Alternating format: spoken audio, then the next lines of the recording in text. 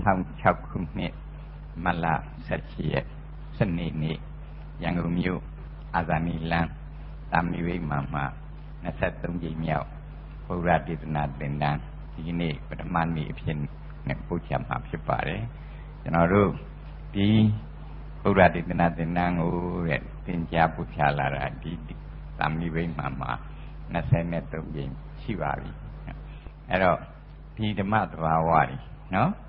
ဘုရားရှင်ဟောကြားတော်မူသောဒေသနာမှာပါနေတဲ့ဓမ္မသဘာဝများကိုတဲ့ပထမအဆင့်ကျွန်တော်တို့လေ့လာပါတယ်သင်ယူပါတယ်နော်အဲ့ဒီဓမ္မသဘာဝများကိုတဲ့သင်ယူတဲ့အခန်းကဏ္ဍနော်အဲ့ဒီပညာဒေသနာမယပညာတဲ့ဟုတ်ပါလားဘုရားရှင် ဟောကြားတော်မူသောဓမ္မသဘာဝများကိုလေ့လာတဲ့ပညာပါဒါကိုကျွန်တော်တို့ဒေသနာမယပညာခေါ်ပါရဲ့နော်အဲ့ဒီဒေသနာမယပညာမှာပါတဲ့သဘာဝတရားများနော်အဲ့ဒီသဘာဝတရားများကိုသိသိချာချာမိမိကိုယ်ပိုင်ဉာဏ်နဲ့စဉ်းစားဆင်ခြင်ရတာလည်းပဲပညာရတခု နော်ဒေသနာမှာပါသောအကြောင်းအရာများကိုမိမိရဲ့ကိုယ်ပိုင်ဉာဏ်နဲ့စဉ်းစားဆင်ခြင်ရတဲ့ဟာကလည်းပဲပညာရတခုဟုတ်ကဲ့လားအဲ့တော့ဒေသနာမယပညာသင်ပြီးတော့အခါတဲ့ဘာလို့ရတာလဲစိတ်တာမယပညာတဲ့ဟုတ်ပါနော် အဲ့ဒီစိတ်ဓာမယပညာဆိုတာဟာတဲ့ဒီဒေသနာမှာပါသောဓမ္မတဘာဝများကို ကိုယ်တိုင်သိနာလဲလာအောင်နော်ထန်အကျဉ်းချင်းအဖတ်မှစဉ်းစားခြင်းဆင်ခြင်ခြင်းတွေးတောခြင်းဆိုတဲ့အလုပ်ကိုတကယ်လုပ်ရပါတယ်နော်အဲ့ဒီပညာကိုလည်းဖျားရှင်ကသင်ပေးပါတယ်နော်ဘာလို့တဲ့ပညာတော့ ဓမ္မတဘာဝများအတိတ်ပဲပေါ်၍မိမိကိုယ်တိုင်နားလည်လာအောင်နော်တွေးတော်ခြင်းဆင်ခြင်ခြင်းပညာဟုတ်ကဲ့လားအေးအဲ့ဒီလိုတဲ့ဒေသနာမယပညာလည်းသင်ပြီးပြီစိတ်ဓာမယပညာနဲ့လည်းပဲအဖမှန်ထထဓမ္မတဘာဝများကိုစဉ်းစားပြီးပြီဆိုတော့မှဖျားရှင်ချပေးတဲ့ပညာများဒီသဘာဝတရားတွေဟာ ပွားများအထုတ်ရတဲ့သဘာဝတရားတွေလို့ကိုယ်တိုင်စိတ်ဓာမယပညာက ရှင်းလင်းပြပြတော့မှအဲ့ဒီစိတ်ဓာမယပညာကအထောက်ပံ့ရလို့ဒီဘာဝနာဆိုတဲ့အလုပ်ကိုလုပ်ကြတာတဲ့နော်အဲ့တော့အဲ့ဒီဘာဝနာအလုပ်ကလည်းပဲတဲ့ပညာရတဲ့အားတယ်နော်ဘာဝနာမယ ပညာပါတဲ့ဒီလိုတဆင့်ပြီးတဆင့်ဘုရားရှင်ဟောကြားတော်မူသောဒေသနာနဲ့ဒေသနာပါတရားများ၏အဓိပ္ပာယ်ကိုနားလည်အောင်ဆင်ခြင်တဲ့စိတ်ဓာမယပညာအဲ့ဒီဒေသမယဒေသနာမယပညာစိတ်ဓာမယပညာတွေပေါ်မှာအခြေခံပြီးတော့နော်ကျွန်တော်တို့တကယ်လက်တွေ့လေ့ကျင့်ကြရပါတယ်လေ့ကျင့်တယ်ဆိုတဲ့အလုပ်နော် ဘာဝနာအလုပ်ပါအဲ့ဒီဘာဝနာအလုပ်ကိုတဲ့လုပ်မဲ့ပုဂ္ဂိုလ်ဟာပထမပါလို့အပ်တာတော့ဒေသနာမယပညာကိုလေ့လာရမယ်ဒေသနာမယပညာထဲမှာပါတော့ဓမ္မသဘာဝများကိုကိုယ်ပိုင်ဉာဏ်နဲ့ရှင်းရင်စဉ်းစားတဲ့အလုပ်စိတ်ဓာမယပညာလုပ်ရပါမယ်အဲ့ဒီစိတ်ဓာမယပညာနဲ့ရှင်းရင်တွေးတော်ကြည့်ပြီးတဲ့အခါကျမှဒီဓမ္မသဘာဝများဟာ ဒီလိုစင်ញင်တွေးတောကများနှင့်မပြည့်စုံဘူးဆိုတာသိလာတယ်သိလာမှအလုပ်ကြတော့ပွားများခြင်းအလုပ်ကိုတက်လှမ်းပါတယ်ပွားများတဲ့အခါမှလည်းဘာလို့နီးပညာလိုပါတယ်နော်အဲ့ဒီနီးပညာကိုလည်းဖျားရှင်ကပေးပါတယ်အဲ့ဒီတော့ဒီလိုတဆင့်ပြီးတဆင့်နော်ဖျားရှင်ပေးတဲ့ဘာဝနာအလုပ်ကိုလုပ်မယ်ဆိုရင် ဒီသုံးဆင့်တစ်ဆင့်ပြီးတစ်ဆင့်တက်ပြီးတော့လေ့လာကြရပါလေနော်အဲ့တော့ဟောဒီဒေသနာမယပညာဆိုတာဟာတဲ့ဗုဒ္ဓပေးတဲ့ theory ဟုတ်ကဲ့လားဘာခေါ်လဲဗုဒ္ဓပေးတဲ့ theory တဲ့ဟုတ်ကဲ့အေးအဲ့ဒီ theory ကိုပထမအဆင့်အနေနဲ့သဘောပေါက်အောင်နဲ့လေ့လာရပါတယ်နော်အဲ့ဒီ theory အဓိပ္ပာယ်ပေါက်ပြီးတော့မှ theory ကိုဘာလို့ရတာလဲစဉ်းစားရစဉ်းစဉ်ရပါတယ်တဲ့အဲ့ဒါဟာဗုဒ္ဓရဲ့ philosophy နော်ပထမအဆင့်ဘာကိုသင်ရတာတော့ theory ဒုတိယအဆင့်ဘာသင်ရတော့ philosophy တဲ့ဟုတ်ပါနော်အဲအဲ့ဒီ philosophy ကိုသိသိချာချာနားလည်သဘောပေါက်ပြီးတော့မှပါတယ်နော် လေ့ကျင့်ကန်လုပ်ရပါတယ်အဲ့ဒါကိုကျွန်တော်တို့ mind body training Buddha's way mind body training ခေါ်ပါတယ်နော်အဲ့ဒီ mind body training ကိုတက်လှမ်းနိုင်အောင်လေ့ကျင့်နိုင်အောင်ပထမအဆင့်အခုဒေသနာမယပညာကိုကျွန်တော်တို့လေ့လာမယ်ဟုတ်ကဲ့ပြီးတော့ပါတယ်နော်စိတ်ဓာမယပညာကိုတွေးခေါ်နိုင်အောင်လေ့ကျင့်မယ် ပြီးတော့မှကျွန်တော်တို့ကိုယ့်ရဲ့စခန်းမှာ mind body training workshop ကိုလုပ်မှာပါအဲ့တော့ကျွန်တော်တို့တို့တကယ်မိမိတို့ရဲ့အကြောင်းအရာနှင့်မိမိတို့ရဲ့အဖြစ်အမှန်ကိုသိအောင်နားလည်အောင်ကြိုးစားရတဲ့ပညာတွေတဲ့အဲ့ဒီပညာတွေဟာ ဘာကိုပြောပြနေတာတုံးဆိုတော့တကယ်အဟုတ်ရှိနေတဲ့သဘာဝနော်အဲ့ဒီသဘာဝဟာတဲ့သဘာဝကိုအခုဖြစ်စကားနဲ့ပြောရင်တဲ့ပါတယ် nature နော်အဲ့ဒီ nature ဆိုတဲ့သဘာဝကိုသိတဲ့သိတဲ့လောက်သိနိုင်အောင် ဒေသနာပါအချက်လက်များတွေကဟုတ်ကဲ့လားလိုအပ်တာလောက်ကိုတော့ထုတ်နှုတ်ပြီးတော့လေ့လာရမူလဒေသနာဆိုတာကအလွန်ကျယ်ဝန်းနေသို့တော့အဲ့ဒီအလွန်ကျယ်ဝန်းတဲ့ဒေသနာပါအကြောင်းအရာအလုံးကိုမလေ့လာနိုင်တောင်မှပါတယ်တော့ဒီကျွန်တော်တို့တက်လှမ်းရမယ့်လမ်းစဉ်မှာစိတ်ဓာမယပညာတက်လှမ်းနိုင်အောင်ဟုတ်ကဲ့လားဒီ တဘာဝကိုလေ့လာရဟုတ်ကဲ့အဲ့ဒီအချက်ကိုတဲ့သိရသိရဆိုလိုတာကဘာနဲ့ကွဲစေနေတာတော့ဘုရားဒေသနာဆိုတာဟာအခြားအခြားဘာသာများဘာသာတရားများများသောအားဖြင့်ပေါ့လေဗုဒ္ဓဘာသာလို့အသုံးနှုံသုံးဆွဲပြီးတော့လေ့လာနေကြတော့ဗုဒ္ဓရှင်တော်ဖျားဟောကြားတော်တရားတော်များကို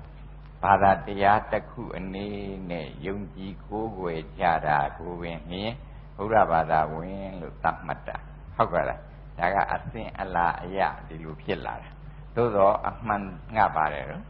ရားရှင်ဟောကြားခဲ့သောဓမ္မသဘာဝများကိုသိသိချာချာသိအောင်နားလည်အောင်ပညာရတ္တခုအဖြစ်နဲ့သင်ရဒါကြောင့်မလို့ပါခေါ်ရဒေသနာမယ ပညာဟုတ်ကဲ့လားအဲ့ဒီသဘောကိုတဲ့နားလည်ရဘာနဲ့ဘာနဲ့ကိုရမှာလဲဘာသာရေးကိုယ်ွယ်မှုနှင့်ပညာသင်ကြားမှုနှစ်ခုကိုရဗုဒ္ဓဘာသာကဘာလို့ရတာလဲပညာရအဖြစ်နဲ့သင်ယူရတယ်ဟုတ်ပါလားအေးအဲ့ဒီအချက်အရေးကြီးထားပြီးတော့လေ့လာရလေ့လာတဲ့အခါကျတော့အခုပြောတဲ့ nature ဟုတ်ကဲ့လား nature ဆိုတာဘာလဲတော့ nature ဆိုတာဘာလဲသဘာဝဟုတ်ကဲ့လားအဲ့ဒါကျွန်တော်တို့ဒေသနာကဘယ်လိုပြောတာတော့ဓမ္မသဘာဝဟုတ်ကဲ့လားအဲ့ဒီဓမ္မသဘာဝဆိုတာကပါတယ်နော်တရားတော်ကရှင်းပြထားသည့်သဘာဝတရားများဟုတ်ကဲ့လားအေးအဲ့ဒီလို သိသိချာချာနားလည်လာမှာတဲ့ဟုတ်ကဲ့လားဘာကိုသိသိလို့တာလဲသဘာဝဟုတ်ကဲ့လားအဲ့ဒီသဘာဝနဲ့ပတ်သက်လာတဲ့အခါကျတော့ဒီဒေသနာနော်ဒီသမ္မာသမ္ဗုဒ္ဓမြတ်ဟောပြထားတဲ့တဘာဝဆိုတာဟာတဲ့အလွန်ကျယ်ဝန်းနေအဲ့ဒီအလွန်ကျယ်ဝန်းတဲ့နေပယ်ကိုကျွန်တော်တို့တာမန်ပုထုဇဉ်တို့မသိနိုင်ဘူး သို့တော်လည်းပဲကျွန်တော်တို့အတွက်လိုအပ်တဲ့အတိုင်းအတာအတွင်းကတော့ဖြစ်ရင်သိအောင်နားလည်အောင်ကျွန်တော်တို့ကြိုးစားရမယ်ဟုတ်ပါလားအဲ့ဒါကြောင့်မလို့အခုပါလေးပါတော့ပညာသင်ရတယ်အခုသင်တဲ့ပညာကဘာခေါ်ဒေသနာမယပညာတဲ့ဟုတ်ကဲ့အဲ့ဒါဟာပါတယ်နော်အပညာတော့ဓမ္မတဘာဝပညာဟုတ်ကဲ့ အေးအဲ့ဒီဓမ္မတဘာဝ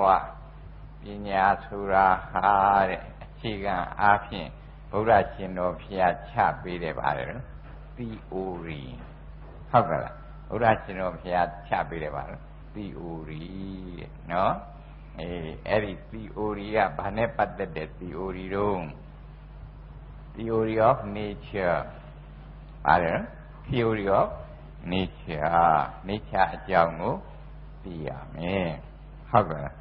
အဲ့ဒီလိုသိဖို့ဆိုတာဟာတဲ့အခုပြောတဲ့ပါတယ်နော်ဘာဝနာအလုတ်ကိုတက်လှမ်းမဲ့ယောဂီဟာအဲ့ဒီသဘာဝကိုအခြေခံကြကြမသိရင်မိမိအားထုတ်သောတရားအပေါ်မှာလမ်းစဉ်တရားအားထုတ်တာပါလေနော် လမ်းစဉ်ရှိတယ်အဲ့ဒီလမ်းစဉ်မှာတဲ့အခုရေကပြပြချာချာကိုယ်ကိုယ်ပြပြ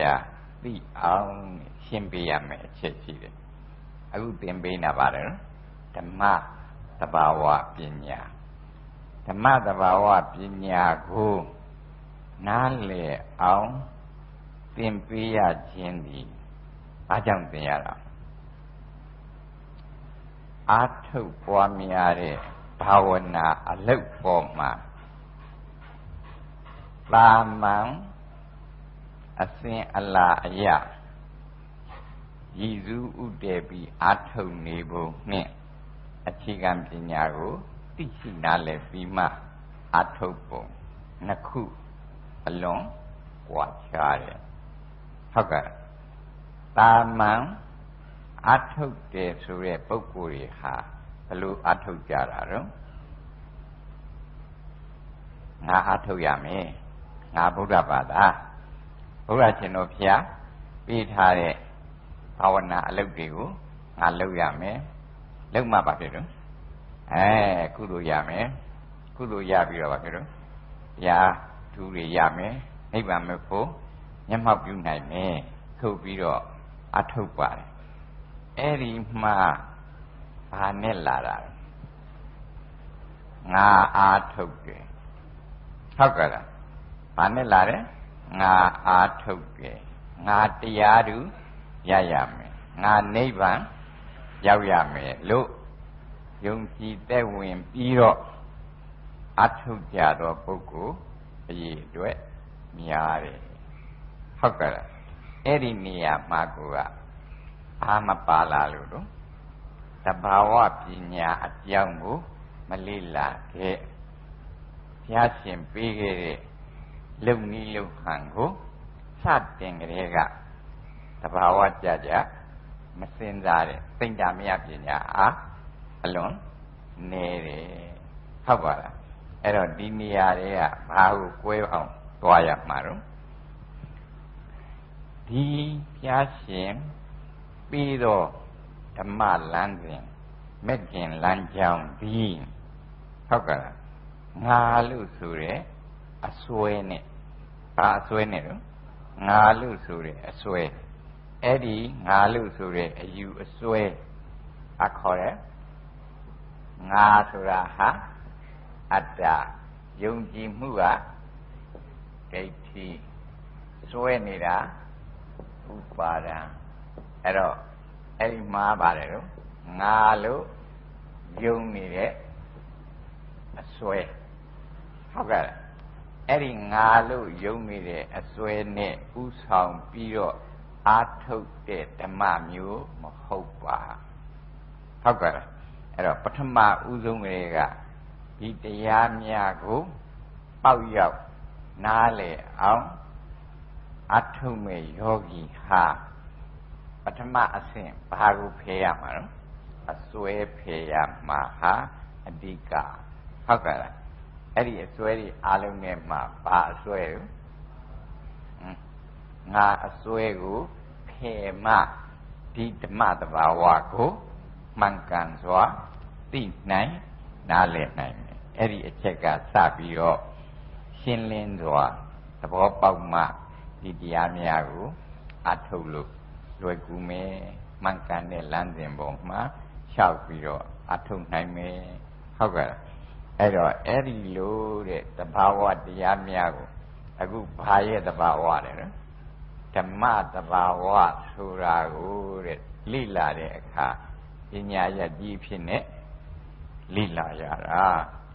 အဲ့ဒီပညာရကြီးကိုအဟုတ်တကယ်တဲ့နားလေအောင်နဲ့စဉ်းစားရတဲ့အခါကျတော့ဟော ဒီဓမ္မဆိုတဲ့စကားလုံးနော်အဲ့ဒီဓမ္မဆိုတဲ့စကားလုံးနဲ့မှဘာပါလာတော့ဆိုတော့အခြားနေရာမှာရှာဖွေရမယ်ဓမ္မမဟုတ်မိမိမှဓမ္မကိုရှာရမယ်ရှာရမှာဘယ်မှာရှာရမှာတော့မိမိမှဘာကိုရှာရမှာတော့ဓမ္မကိုရှာရမယ်အဲ့တော့မိမိမှာဓမ္မကိုရှာတော့အခါ မိမိကဘာနဲ့တွဲနေတာတော့ငါဆိုတော့အစွဲနဲ့အမြဲတမ်းတွဲနေတယ်တဲ့ဟုတ်ကဲ့လားအဲ့ဒီတော့အဲ့ဒီမှာမိမိဆိုသောတဘာဝတရားကိုဉာဏ်နှင့်မြင်အောင်ဆင်ခြင်မယ်ဆိုရင်တဲ့ရိုးရိုးလေးပဲပြောတယ်မိမိဆိုတဲ့စီမာတဲ့ ပါရှိတယ်ကိုယ်ခန္ဓာရှိတယ်ဟုတ်ကဲ့လားပြီးတော့ပါရှိတယ်စိတ်ရှိတယ်ဒါအမှန်ရှိတာဒါဟာပါလေတော့အမှန်တကယ်ရှိတော့ဓမ္မသဘာဝဘာနဲ့ဘာနဲ့ရှိတာတော့ကိုယ်ခန္ဓာနဲ့စိတ်ဟာအမှန်တကယ်ရှိတော့ပါလေတော့ဓမ္မသဘာဝ အဲ့ဒီကိုယ်ခန္ဓာအကြောင်းစိတ်အကြောင်းကိုလေ့လာရတာဗါတယ်နော်ပညာဟုတ်ကဲ့အဲ့ဒီပညာကိုတဲ့ရအောင်လေ့လာမယ်ဆိုတော့တဲ့ဘယ်သူကအုပ်စီးနေတုံဆိုတော့အားတယ်နော်ငါကိုယ်ခန္ဓာပြီးတော့ပါတယ်နော်ငါစိတ်လို့အမြဲတမ်းမလုပ်နေတာနော်ခံယူနေတဲ့အတွေ့ခန္ဓာဤကိုယ်ခန္ဓာဤအ ဖြစ်မှန်စိတ်ဤအဖြစ်မှန်ကိုတဲ့ဒီပညာကမထိုးဖောက်နိုင်ဟုတ်ကဲ့လားဘယ်သူကလွှမ်းမိုးနေလို့တော့ငါအစွဲဟုတ်ကဲ့အဲ့ဒါကိုတဲ့ကျွန်တော်တို့သဘောပေါက်အောင်နဲ့လေ့လာပါမယ်တဲ့ဟုတ်ကဲ့လားအဲ့တော့အရေးကြီးတဲ့အချက်ကဒီပထမဦးဆုံးအဆင့်ဖြစ်သော ဒေသနာမယပညာဆိုတာဟာတဲ့ဘာကိုလေ့လာတာတော့ဓမ္မတဘာဝကိုလေ့လာတာအဲ့ဒီဓမ္မတဘာဝကိုလေ့လာတဲ့ theory မှာဟုတ်ကဲ့လားအခုဘာလို့သင်တာတော့ theory မှာ theory မှာအခုဘာခွဲရမှာတော့တကယ်အဟုတ်ရှိသောကိုယ်ခန္ဓာတကယ်အဟုတ်ရှိသောစိတ်နဲ့ဘာနဲ့ဆိုငါအစွဲနဲ့ကိုယ်အောင် ခွဲရမယ်ဒါဟာပါတယ်လို့ theory ဟုတ်ကဲ့လားဒီ theory ကိုမှသဘောမပေါက်ရင်လုပ်ငန်းသဘောကိုနားမလဲဘူးဟုတ်ကဲ့လားအဲ့တော့အရေးကြီးနေတဲ့အချက်ကဟောဒီကိုယ်ခန္ဓာကိုလည်းလေ့လာမယ်စိတ်ကိုလည်းလေ့လာမယ်ဆိုတော့ဘာကိုဖယ်ရမှာတော့ငါအစွဲကိုဖယ်ရမယ်ဟုတ်ကဲ့ ငါအစွဲကိုဖယ်ရန်လိုအပ်သည်ဒီအချက်ကိုမှတ်ထားရမယ်တရားတော်ကိုအမှန်အတိုင်းသိအောင်အာထုတ်မဲ့ယောဂီဒီဘာအစွဲကိုဖယ်ရမှာတော့ငါအစွဲကိုဖယ်ရမည်ဟုတ်ကဲ့အဲ့ဒီငါအစွဲအုပ်စီးနေရင်အမှန်တဘာဝကိုမမြင်ပါဟုတ်ကဲ့အဲ့ဒါကပထမသင်ကြားပေးတဲ့အချက်ဟုတ်ကဲ့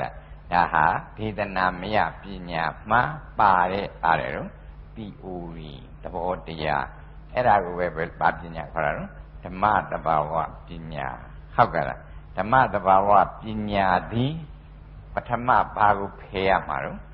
ငါအစွဲကိုဖယ်ရမယ်အဲ့တော့အခုလိုတိုက်ရိုက်ပြောလိုက်တော့ငါအစွဲဆိုတာဟာ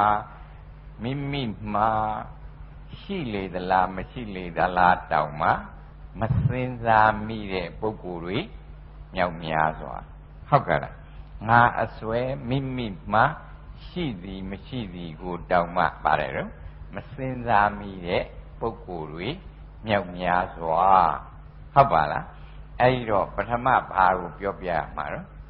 ငါအစွဲရှိတယ်ဆိုတာကိုကိုယ်ကိုယ်တိုင်သိဖို့လိုပါတယ်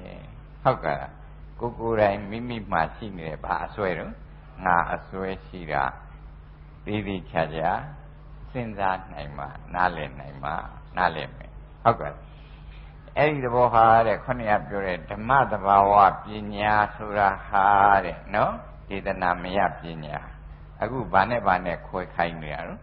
ငါအစွဲနဲ့ယုတ်နဲ့ယုတ်ခန္ဓာနဲ့ငါအစွဲနဲ့စိတ်ဒီနှစ်ခုကိုခွဲဖို့တဲ့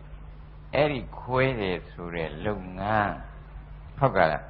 အခုလုပ်ငန်းရဲ့လို့ဖြစ်လာတဲ့အခါတဲ့အဲ့ဒီငါအစွဲနဲ့ကိုယ်ခန္ဓာနဲ့ငါအစွဲနဲ့စိတ်နဲ့ခွဲတယ်ဆိုတဲ့အခါကြတော့တဲ့ဘာပါလာတော့တွေးတော်ဆင်ကျင်တော့ပညာရပ်ပါလာတယ်ဟုတ်ကဲ့ဘာပါမတော့ တွေးတော်ဆင်ကျင်မှုပညာပါမဘာနဲ့ဘာနဲ့ခွဲမှာတော့ငါနဲ့ကိုယ်ခန္ဓာနဲ့ငါနဲ့စိတ်နဲ့လောက်ရမယ်အလုပ်ကတွေးတောဆင်ခြင်မှုပညာနဲ့လောက်ရမှာပါတဲ့အဲ့ဒီပညာကိုကခေါ်တော့စိတ်တာမယပညာတဲ့ဒါကိုပဲဘာလို့ခေါ်တာတော့ဗုဒ္ဓဖီလောဆိုဖီဟုတ်ကဲ့လားဖီလောဆိုဖီဆိုတော့လောက်တာ တော့တွေးတောခိုင်းဆင်ခြင်ခိုင်းတာတွေးတောဆင်ခြင်ရတဲ့ပညာကိုဘာခေါ်လဲဖီလောဆိုဖီအဲ့ဒီဖီလောဆိုဖီကအခုဘာခိုင်းနော်ငါအစွဲဆိုတာရှိနေတယ်အဲ့ဒီငါအစွဲနဲ့ကိုယ်ခန္ဓာနဲ့တခြားစီဆိုတာကိုသိအောင်နားလည်အောင်စဉ်းစားဆင်ခြင်တဲ့ပညာလူတွေစိတ်နဲ့ငါနဲ့တခြားစီဆိုတာကို စဉ်းစားဆင်ခြင်ရတဲ့ပညာလူတွေအဲ့ဒီပညာကိုဘာခေါ်တော့စိတ်တာမယပညာအဲ့ဒါကိုပဲဘာခေါ်တော့ philosophy အဲ့ဒီ philosophy ကိုမှမမြင်ရင်လုပ်ရမယ်လုပ်ငန်းသဘောကိုမသိဘူးဟုတ်ကဲ့လားအဲ့တော့တွေးတောဆင်ញင်တယ်ဆိုတဲ့ပညာသည်ဘုရားဒေသနာမှာအလွန်အရေးပါအရာရောက်သော အခန်းကဏ္ဍမှာပါဝင်နေဒါကိုသိရဟုတ်ကဲ့တွေးတောဆင်ញင်သောပညာမပါဘဲနဲ့ဘုရားဒေသနာကိုနားလည်ဖို့လည်းမလွယ်ဘူးလက်တွေ့လှုပ်ဆောင်ဖို့လည်းမလွယ်ပါဟုတ်ကဲ့အဲ့တော့ပထမအဆင့်ကပြောလိုက်တာကပါတယ်လို့ဒေသနာမှာဓမ္မသဘာဝများကိုလေ့လာဖို့ပညာသင်လို့ဆိုတော့ဓမ္မသဘာဝကဘာကိုသင်ရမှာတော့ ကိုယ်ခန္ဓာအကြောင်းကိုသင်မယ်စိတ်အကြောင်းကိုသင်မယ်ဒါပေမဲ့လို့အဲ့ဒီစိတ်အဲ့ဒီကိုယ်ဘာနဲ့တွဲပြီးမြင်နေတာတော့ငါကိုငါစိတ်လို့တွဲပြီးတော့အမြဲတမ်းမြင်နေတယ်အဲ့ဒီလိုငါကိုငါစိတ်လို့တွဲနေလို့ရှိရင်ကိုယ်ခန္ဓာဤအဖြစ်မှန်စိတ်ဤအဖြစ်မှန်ကိုမသိနိုင်မမြင်နိုင်ပါဟုတ်ကဲ့လားဒါကြောင့်မို့လို့ဘာကိုဖယ်ကျင်တာတော့ငါအစွဲကို ဖယ်ကျင်ပါတယ်ဖဲကိုဖယ်ရမယ်ဟုတ်ပါလားအေးအဲ့ဒီသဘောတဘာဝတွေဟာတဲ့ဒီဖျားရှင်ဤဒေသနာမှားတာဒီလိုသင်ပေးတာဟုတ်ကဲ့လားအခြားအခြားဘာသာရပ်များမှာနော်ယုံကြည်ဖို့ကိုးကွယ်ဖို့အဓိကထားပြီးတော့သင်ကြားပြီးတော့ဒီလိုပညာရတစ်ခုအနေနဲ့သ င်ကြားပေးခြင်းမရှိဘူးဘာသာလုပ်ပေးတာတော့ယုံကြည်ပါယုံကြည်တဲ့အတိုင်းကိုးကွယ်ပါကိုးကွယ်ခြင်းအကျိုးရမယ်ဟုတ်ကဲ့လားအဲ့ဒီဘုရားသခင်ဖန်ဆင်းခြင်းဘုရားသခင်ဤအလိုတော်နဲ့ကိုက်ညီအောင်ဆောင်ရွက်ပါအကျိုးများခံစားရမှာပါဒီလိုပဲပြောပြီးတော့သင်ကြားပေးတဲ့ဘာသာရပ်တွေပဲများပါတယ် ဟုတ်ကဲ့လားအခုအဲ့ဓာတွေနဲ့လုံးဝမတူဘူးပွဲပြားတယ်ဟုတ်ကဲ့လားဒီဒေသနာကပထမဦးဆုံးဘာကိုသင်ပါတော့ခိုင်းတာတော့ဓမ္မသဘာဝခေါ်တဲ့ nature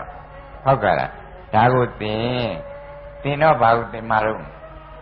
ကိုယ်ခန္ဓာအကြောင်းသင်စိတ်အကြောင်းသင်အဲ့ဒီလိုပြောတော့ကိုယ်ခန္ဓာအကြောင်းကိုသင်မှမယ်စိတ်အကြောင်းကိုသင်မှမယ်ဆိုတဲ့အခါကျတော့ ဒီကိုယ်ခန္ဓာအပေါ်မှာငါကိုယ်လို့ဆွဲနေတဲ့အစွဲရှိနေတယ်စိတ်ပေါ်မှာလည်းငါစိတ်လို့စွဲနေတဲ့အစွဲရှိနေတယ်အဲ့ဒီအစွဲတွေငါအစွဲတွေမဖွဲ့နိုင်ရင်ကိုယ်ခန္ဓာဤတဘာဝအမှန်ကိုမသိဘူးစိတ်ဤတဘာဝအမှန်ကိုမသိနိုင်ဘူးဟုတ်ပါလား အဲ့ဒီတော့ကျွန်တော်တို့အဲ့ဒီလုပ်ငန်းပထမဦးဆုံးလုပ်ရမယ့်လုပ်ငန်းမှာသာပါလာတော့ငါကိုငါစိတ်လို့စွဲနေတော့အစွဲများကိုရော့အောင်လျှော့ဖို့နိပညာလိုတယ်ဟုတ်ကဲ့လားဒီအစွဲကလွယ်လွယ်နဲ့ဖယ်လို့မရပါသူဟာနိပညာမှန်မှန်ကန်ကန်နဲ့ လေ့ကျင့်ပြီးတော့ယူမှရနိုင်တဲ့ပညာပါဟုတ်ပါလားအေးအဲ့ဒီသဘောတွေကိုတဲ့ဒီလိုသင်ယူသွားတဲ့အခါတဲ့အကြောင်းအရာတွေသင်ယူထားတဲ့အကြောင်းအရာတွေမှာတဲ့အခုဒေသနာမယပညာလို့ခေါ်တဲ့ theory နဲ့စိန်တာမယပညာလို့ခေါ်တဲ့ philosophy ဟာမလုပ်နေတာတော့တွဲနေတယ် ဟုတ်ကဲ့လား theory ထဲမှာပါတဲ့အကြောင်းအရာကိုသိသိချာချာလက်တွေ့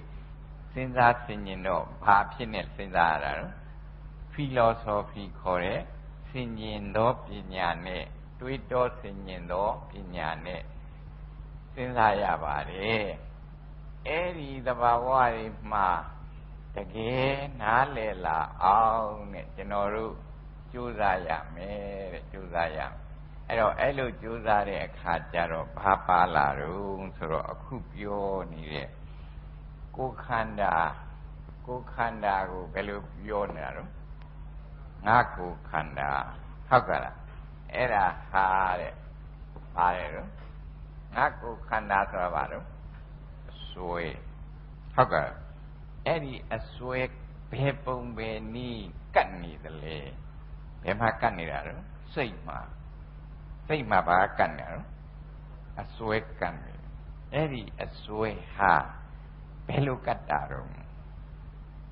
ဟုတ်ကဲ့အဲ့ဒီကတ်တဲ့သဘောရဲ့အခြေအနေကိုသိအောင်လေ့လာရမယ်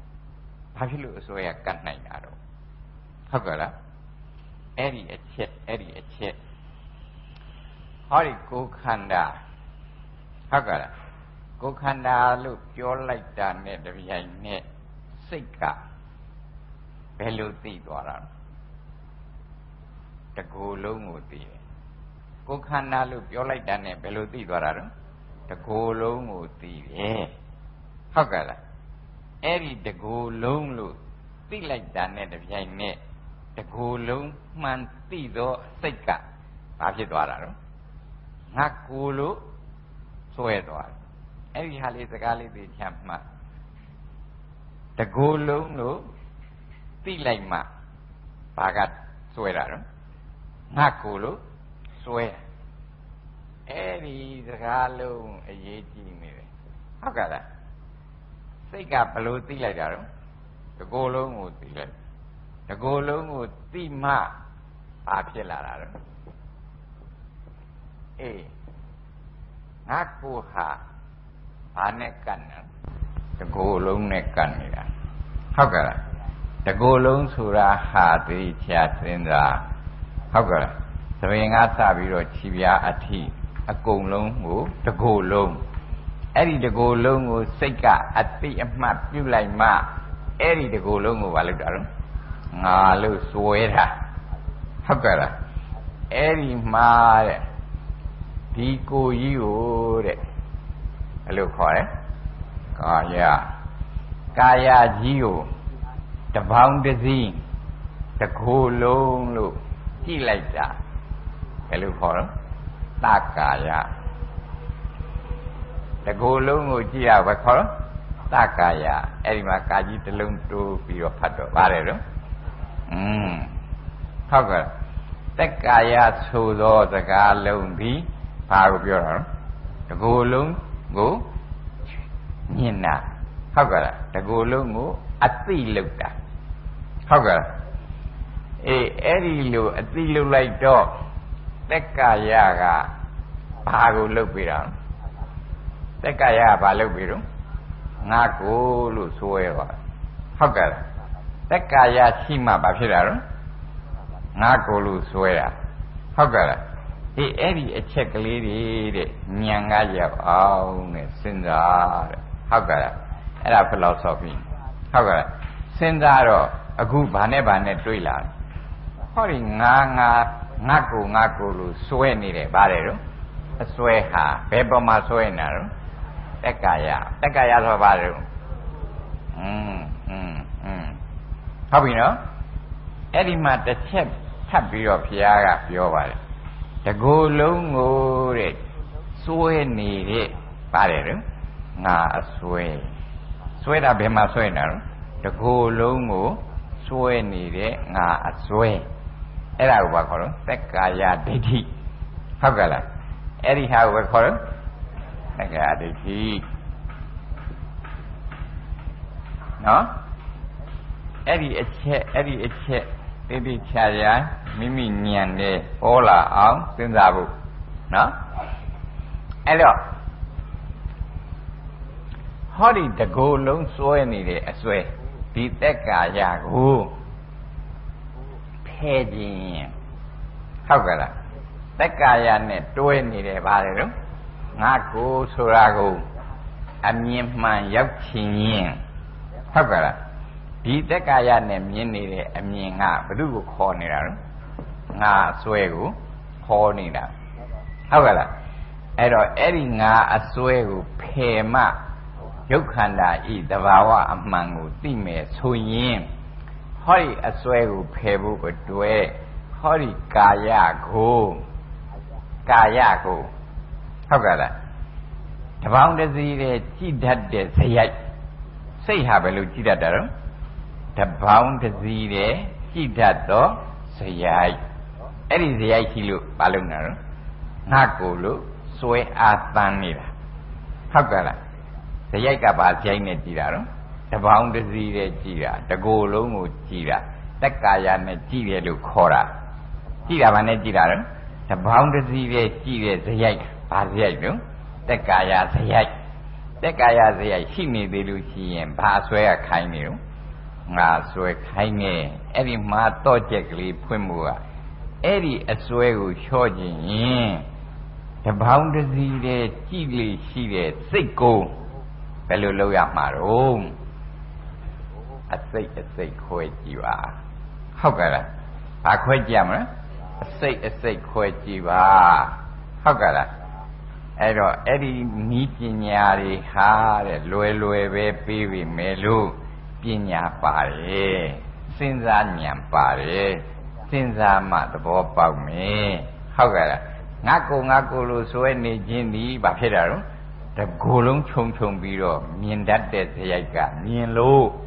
အဲ့ဒီလိုတကိုယ်လုံးခြုံခြုံပြီးတော့ကြည်နေတဲ့ဇယိုက်ကိုဘာခေါ်တော့တက္ကာယဒိဋ္ဌိတက္ကာယဒိဋ္ဌိရှိနေသေးရင်ဘာအစွဲရကြည်နေမှာတော့ငါကိုအစွဲရကြီးမှာပါ အဲ့တော့အဲ့ဒီအစွဲကိုလျှော့ဖို့ပထမဦးဆုံးသောချက်ကဟောဒီတကိုယ်လုံးခြုံခြုံပြီးတော့ကြည်တတ်တဲ့စိတ်ရဲ့ဇယိုက်နေရာမှာ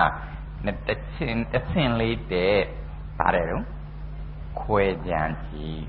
ဟုတ်ကဲ့လားဘာလို့ခိုင်းတာတော့ခွဲကြံပြီးကြည့်ဟုတ်ကဲ့လားဒီခွဲကြံပြီးကြည့်လိုက်တဲ့အခါကျတော့နော်ခန္ဓာကိုယ်မှာရှိနေတဲ့ဟာတွေသဘင်ကသဘင်ပဲ ဟုတ်ဘူးလားမျက်လုံးကမျက်လုံးနားကနားနှာခေါင်းကနှာခေါင်းပါးစပ်ကပါးစပ်ဒီမျက်နှာလေးမှာပဲကိုအလွန်ဆွဲတယ်ဒီမျက်နှာလေးမှာပဲပါတယ်တစ်ခုလုံးခြုံပြီးတော့ကြည့်လိုက်လို့ဒီမျက်နှာပေါ်မှာငါမျက်နှာလို့ဆွဲတာဟုတ်ပါလားတပိုင်းစီတပိုင်းစီကိုညံနဲ့ခွဲရင်သဘင်ကိုသဘင်အတိုင်းဟုတ်ကဲ့လား မျက်လုံးကိုမျက်လုံးအတိုင်းနှာခေါင်းနှာခေါင်းအတိုင်းပါးစပ်ပါးစပ်အတိုင်းတစ်ခုစီခွဲ၍ညံမျက်စိနဲ့ကြည့်သောအခါအစိတ်အပိုင်းအသီးသီးကိုမြန်ကမြင်သွားရင်တပေါင်းတစည်းရဲ့မြင်တဲ့တက္ကာယမျိုးဟာမပါလာဘူးရော့သွားမယ်တက္ကာယခေါ်တဲ့တပေါင်းတစည်းရဲ့ကြည့်တတ်တဲ့ဇယရော့သွားရင်ဘာရော့တော့ငါအစွဲရော့ဟုတ်ကဲ့လား အဲ့ဒီဟာဖျားပေးတဲ့နီးပညာဟုတ်ကဲ့လားအဲ့ဒီတော့တဲ့နီးပညာကပါတယ်နော်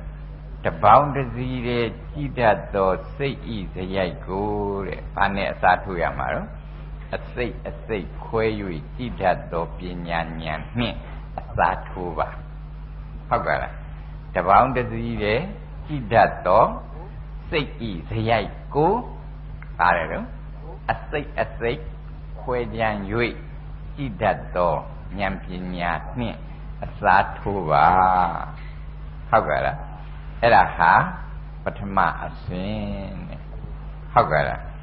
အေးအဲ့ဒီပထမအဆင့်ရဲ့အတိတ်ပဲတဲ့ဘာပေးတော့ပညာပေးပါလေအဲ့ဒီပညာကဒီကာယကိုပဲဘာပညာပေးလိုက်တာတော့ကာယ အနုပတနာပညာဟုတ်ကဲ့လားအဲ့ဒီဟာကဘယ်နဲ့ရောက်သွားတာလို့ဘာဝနာနဲ့ဟုတ်ကဲ့လားဆက်တော့နေတယ်သို့တော့ဒီသဘောတွေကိုနားလေအောင်စဉ်းစားဖို့ကြတော့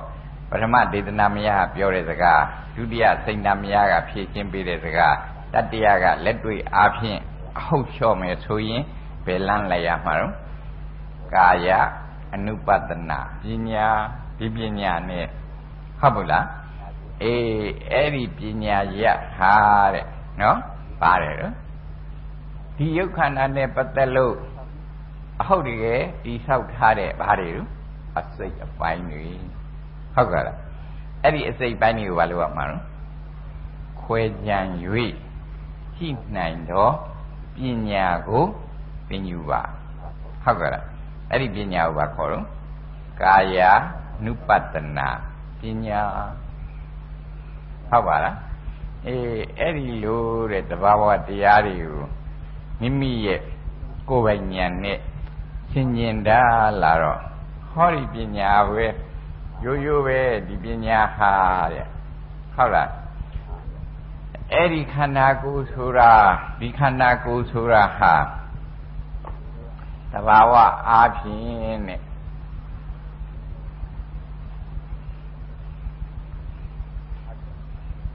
တဘာဝအားဖြင့်ခန္ဓာကိုယ်မှာတဲ့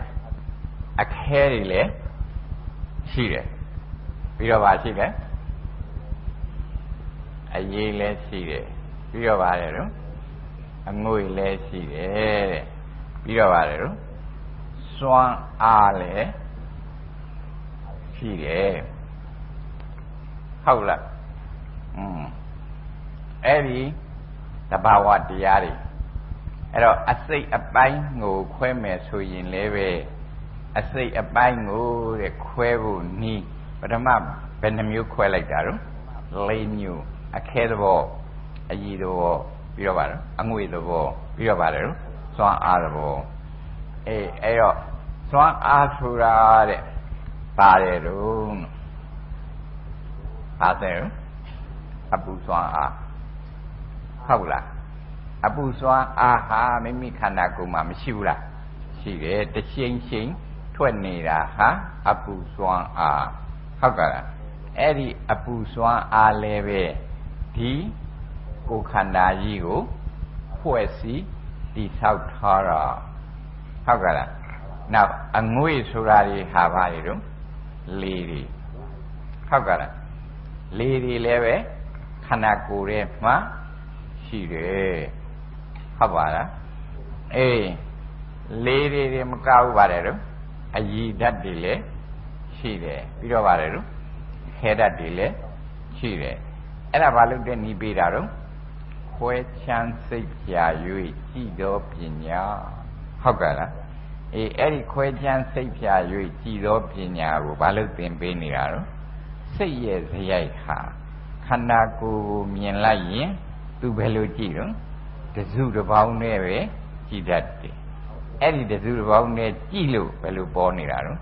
ငါကိုလို့လည်းပေါ်တယ်ပြီးတော့ဘာလဲလဲပေါ်သေးတော့သူလို့လည်းပေါ်တယ်ဟုတ်ကဲ့လားတစုတစ်ပေါင်းနဲ့ကြည်တဲ့ဇယိုက်ဟာဒီကိုကိုငါကိုလို့ပေါ်သလိုသူများကိုလည်းဘယ်လိုပေါ်လို့သူလို့ပေါ်တယ်ဟုတ်ကဲ့လားအဲ့ဒီအချက်ကိုတဲ့ သိသိချာချာနားလည်အောင်စဉ်းစားငါတို့သူတို့ဆိုတဲ့အဖြစ်တွေဟာတဲ့ဘာလောက်တာတော့မြင်တော့ယူပါယုံကိုမြင်တာတကယ်မြင်တော့ဘာသာမြင်တာတော့အစင်းအာယုံကိုမြင်တာမြင်တဲ့အစင်းအာယုံကိုဘယ်လိုယူလိုက်တာတော့တစုတစ်ပေါင်းနဲ့ယူလိုက်တာအစင်းအာယုံကိုတစုတစ်ပေါင်းနဲ့ယူလိုက်တော့အဲ့ဒီအာယုံကိုဘယ်လိုပြောလိုက်တာတော့ငါကိုသူ့ကိုဟုတ်ပါလားအဲ့တော့ ဖယ်ရမယ့်အချက်ကငါကိုသူ့ကိုလို့စွဲနေတဲ့အစွဲကိုဖယ်ခြင်းရင်အဲ့ဒီလိုတစုတစ်ပေါင်းနဲ့ကြည်တတ်တဲ့ဇယိုက်ကဘာနဲ့အစားထိုးရမှာလို့အစိတ်စိတ်ခွဲ၍ကြည်သောပညာနှင့်အစားထိုးပါဟုတ်ပါလားအေးအဲ့တော့အဲ့ဒီမှာပဲစနစ်နဲ့ပေးပါတယ်အခဲဆိုတဲ့သဘောဟာတဲ့ဟောဒီခန္ဓာကိုယ်ထဲမှာအကြမ်းမြင်အားဖြင့်နဲ့အမျိုး20 အခဲတွေပဲနှမျိုးရှိတယ်အမျိုး20အရေးတွေ12မျိုးဟုတ်ကဲ့လားအငွေ့ခေါ်တဲ့လေက6မျိုးအပူဆိုတာက4မျိုးဟုတ်ကဲ့လားအဲ့ဒီကိန်းတွေပေါင်းလိုက်တော့များသောအားဖြင့်အခဲအည်32မျိုးကိုသာလိလာတော့ဘယ်လိုပြောတော့ 32ခုထာပသို့တော့ဘာပါသေးတာတော့အငွေ့ခေါ်တဲ့လေဓာတ်ဘယ်နှမျိုးတော့6မျိုးအပူဓာတ်ဘယ်နှမျိုးတော့4မျိုးအဲ့တော့အလုံးပေါင်းဘယ်နှမျိုးဖြစ်သွားတော့42မျိုးအေးအဲ့ဒီ42မျိုးသောအားတွေတော့တဘာဝအစံခဲတွေအစုဝေးတွေဒီခန္ဓာကိုယ်ဖြစ်အောင်ဖွဲ့စည်းထားတာအမှန်ပါ ဟုတ်ကဲ့လားအဲ့ဒီတော့အဲ့ဒီပညာကိုဘုရားကပေးတာဘာဖယ်ခြင်းလို့တော့ငါကိုလို့အစွဲသူ့ကိုလို့အစွဲငါအစွဲသူ့အစွဲကို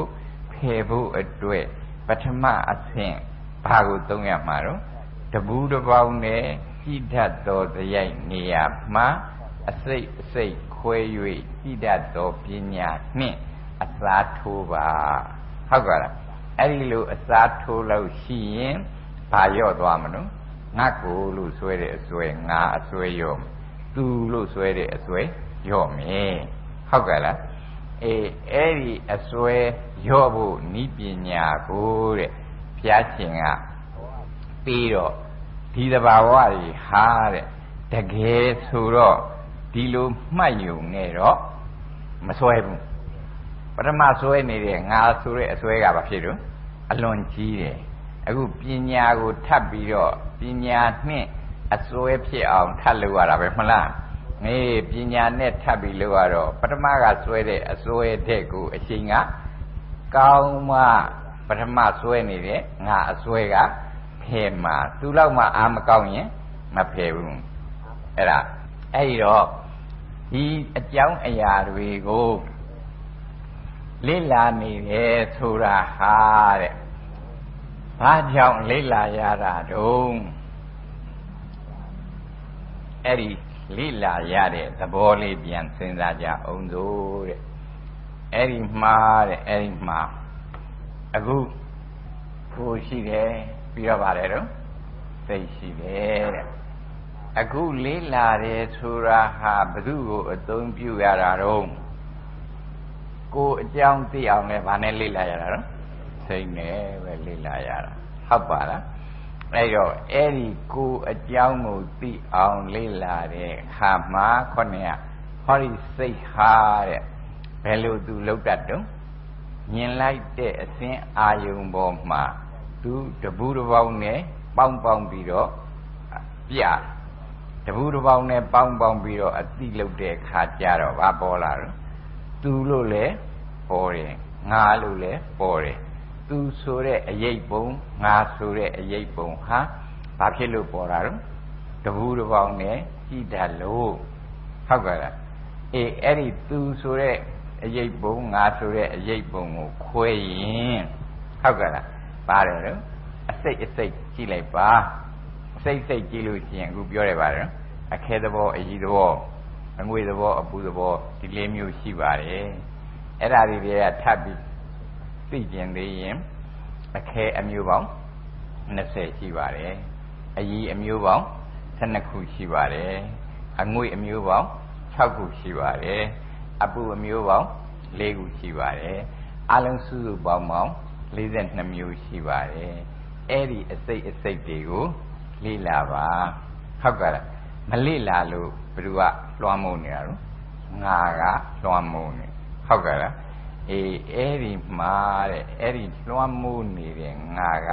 ဟောဒီစိတ်ထဲမှာပဲသူကကိန်းအောင်ပြီးတော့သူကအလုံးလုံးနေတာအစွဲကဟုတ်ပါလားအဲ့ဒီတော့တဲ့ဟောဒီစိတ်ထဲမှာကိုကစိတ်ကဘာအလုံးလုံးတော့သိတဲ့အလုံးလုံးနိုင်တယ်စိတ်ဟာဘာအလုံးလုံးနိုင်နော် သိတဲ့အလုတ်လုံနိုင်တယ်ဟုတ်ပါလားပြီးတော့ဘာလုပ်သေးတော့မှတ်တဲ့အလုတ်လဲလုပ်တယ်ဟုတ်ကဲ့လားစိတ်ဆိုတော့စိတ်ကသိတဲ့အလုတ်လုပ်တယ်မှတ်တဲ့အလုတ်လုပ်တယ်ပြီးတော့ဘာလဲခံစားတဲ့အလုတ်လုပ်တယ်ပြီးတော့ဘာလုပ်တော့ကြိုးစားတဲ့အလုတ်လုပ်တယ်ဒါဟာဘုရားရဲ့အလုတ်တော့စိတ်ရဲ့အလုတ်ဘယ်နှမျိုးလုပ်နိုင်တော့ ၄မျိုးလုပ်တယ်အဲ့ဒီလုတ်တဲ့၄မျိုးမှာလေပဲအဲ့ဒီအစွဲကဘယ်လိုလုပ်လို့ငါသိတယ်ဟုတ်တယ်မလားငါမှတ်မိတယ်ငါခံစားထားရတာငါကြိုးစားထားရတာအမြဲတမ်းဒီလိုပဲသူကပြောနေကြ ရုပ်ကိုလည်းဒီကပါတော့ငါကိုငါခန္ဓာလို့ပြောသလိုစိတ်ကိုလည်းပါတော့ငါစိတ်ငါစိတ်ကပါတော့သိအောင်လုပ်ရင်ငါသိတယ်ငါမှတ်မိတယ်ငါခံစားထားရတာငါကြိုးစားထားရတာဆိုရဲအစွဲနဲ့လုပ်ပါတယ်ဟုတ်ပါလားအဲ့ဒီတော့ဘာတွေနဲ့ခွဲရမှာတော့ငါနဲ့သိခြင်းသဘောနဲ့ငါနဲ့ မှတ်ခြင်းသဘောနဲ့ငါနဲ့ခံစားခြင်းသဘောနဲ့ငါနဲ့ကြိုးစားအထောက်မှုသဘောကိုယ်အောင်လေ့လာရပါမယ်ဟုတ်ကဲ့လားအေးအဲ့ဒါဟာတဲ့ဘယ်သူနဲ့ဘယ်သူနဲ့ကွဲစေခြင်းလဲငါစိတ်ဆိုတော့အစွဲကိုခွဲခြင်းတော့သိတာနဲ့ငါနဲ့တခြားစီမှတ်တာနဲ့ငါနဲ့တခြားစီခံစားတာနဲ့ငါနဲ့တခြားစီ ကြိုးစားတာနဲ့ငါနဲ့တခြားစီပါဟုတ်ကဲ့လားအဲ့ဒါဟာခုနကပြောတဲ့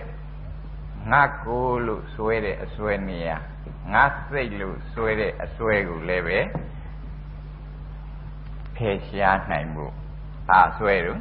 ငါစွဲဘယ်ပေါ်မှာစွဲနေတာတော့စိတ်ပေါ်မှာစွဲနေတဲ့ငါအစွဲအဲ့ဒါကိုတဲ့ကျွန်တော်တို့အခုလက်တွေ့ လုံမအားဖြင့်ငါအစွဲလျှော့နိုင်မှုလိုနေတယ်ဟုတ်ကဲ့အဲ့ဒီငါအစွဲလျှော့နိုင်ဖို့လိုနေတယ်ဆိုတာဟာတဲ့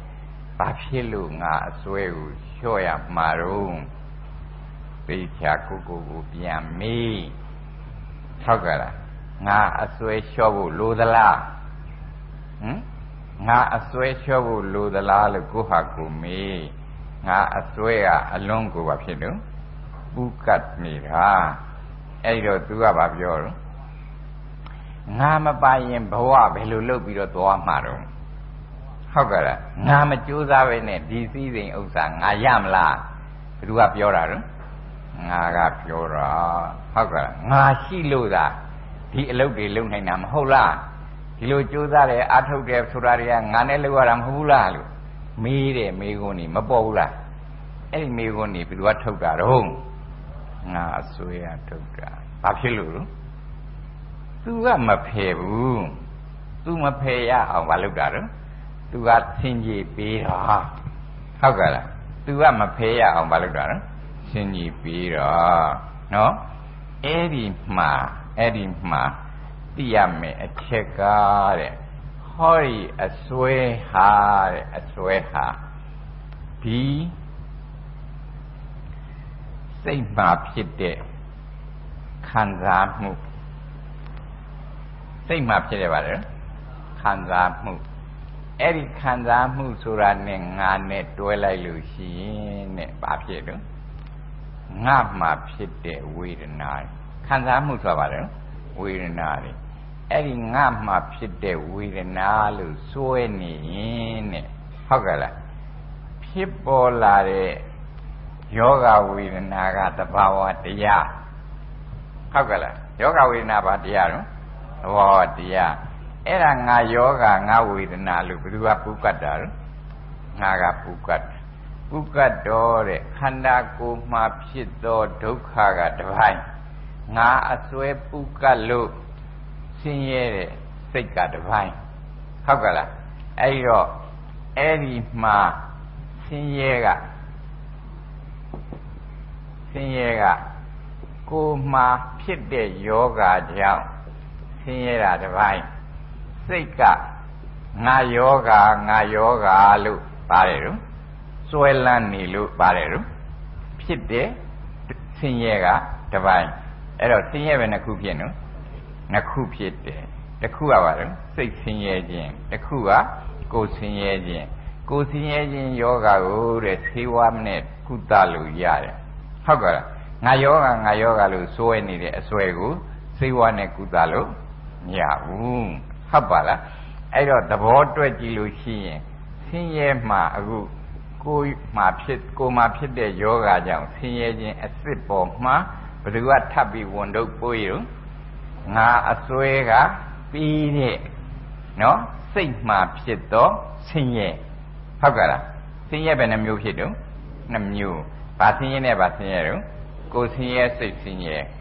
အဲ့ဒီကိုယ်ဆင်းရဲစိတ်ဆင်းရဲနှမျိုးမှာကိုယ်ဆင်းရဲကတဘာဝယောဂကြောင့်ဖြစ်တာစိတ်ဆင်းရဲကဘယ်သူကပေးရလဲ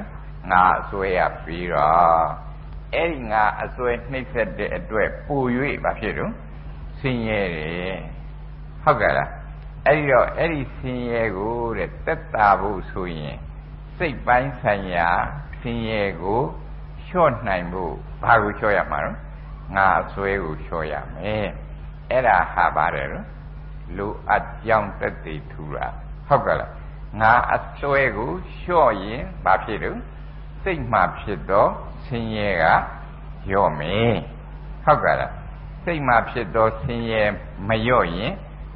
ဆင်းရဲကဘယ်နှမျိုးနှိမ့်ဆက်နေတော့ကိုယ်ဆင်းရဲစိတ်ဆင်းရဲနှမျိုးကိုယ်ဆင်းရဲကဈေးဝါးနဲ့ကုလို့ရတယ်စိတ်ဆင်းရဲကကုလို့မရဘူးစိတ်ဆင်းရဲကဘာပေါ်မှာတည်ပြီးဖြစ်တာတော့